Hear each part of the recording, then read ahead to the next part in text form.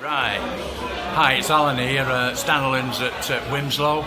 Ian here's uh, been very kind enough with his magical tricks to uh, enjoy all, all the people with us today, all our guests had a wonderful time, young and old, and, and uh, we'd only recommend him more for anyone else as well. Okay, thank you. That